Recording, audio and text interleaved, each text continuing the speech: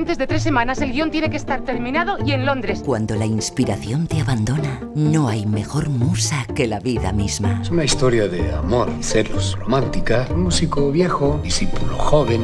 Y aparece una mujer. Ella le besa inesperadamente y le pregunta... ¿Qué has sentido? Él contesta, miedo. Él contesta, nada. ¿Y si todo ocurre en la actualidad? Ahora esas cosas no ocurren, maestro. Al otro lado del túnel. Disponible en Flixolé.